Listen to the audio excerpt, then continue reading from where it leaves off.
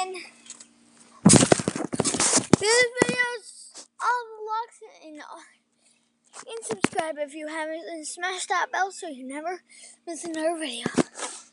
Peace out.